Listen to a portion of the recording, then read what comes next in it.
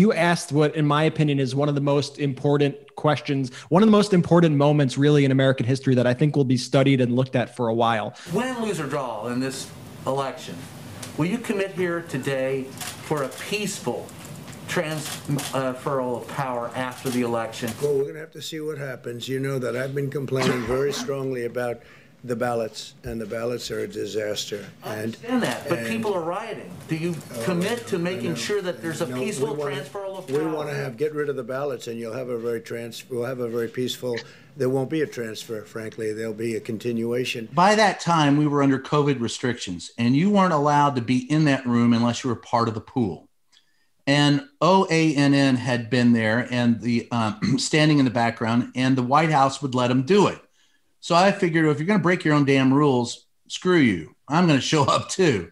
So I would show up whenever I damn well wanted, which was one, you know, not whenever I damn well wanted, but once a week. I was limiting myself to once a week being there instead of every day because of COVID. And I've been under lockdown like everybody else and been tested and vaccinated and inspected, neglected, rejected, and, you know, deselected. So I, that day when I got there, there was an empty seat. And so I took it.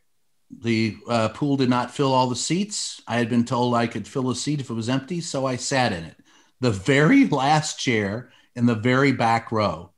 And uh, Trump started on and on. And I go, he'll, he's not even going to call on me.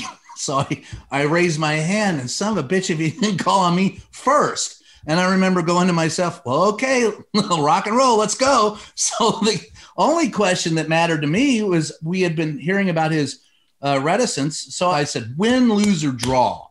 Are you going to commit to the peaceful transfer of power? And his answer was frightening to me that he, you know, he said, well, don't stop counting the ballots. Frankly, there won't be a transfer of power. He was screaming that he was going to be a dictator. You know, what was frustrating to me, I'm going, I, I can't, and, you know, I kept trying to follow up because there had been riots, there had been concern in the country.